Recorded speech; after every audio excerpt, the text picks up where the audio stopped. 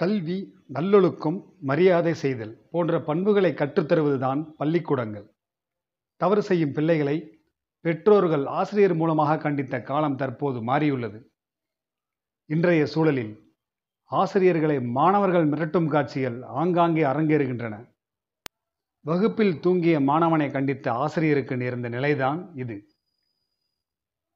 இதற்கு காரணம் ஆசிரியர்கள் மாணவர்களை கண்டிக்கவோ அடிக்கவோ கூடாது எனும் விதிமுறைதான் இந்த மாணவனின் விதியை மாற்றுகிறது.